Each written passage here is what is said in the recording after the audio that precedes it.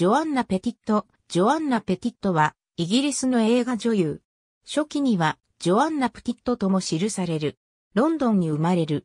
父は、イギリス空軍のパイロットで1942年に戦死。再婚した母親と共に幼少期にカナダに移住する。ニューヨークのネイバーフッドプレイハウスやリンカーンセンターにおいて演技を学び、ブロードウェイにデビュー。シドニールメットに見出され、映画、グループに出演、キャンディス・バーゲン、シャーリー・ナイトらとの共演により注目される。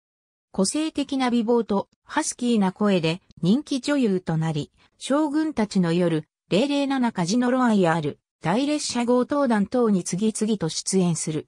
しかし1970年代以降、映画への登場は少なくなり、テレビドラマに活躍の舞台を移した。アメリカの俳優アレックス・コードと1968年に結婚、一男を得たが1989年に離婚。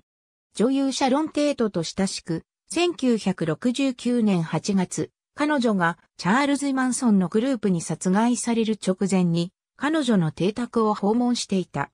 ありがとうございます。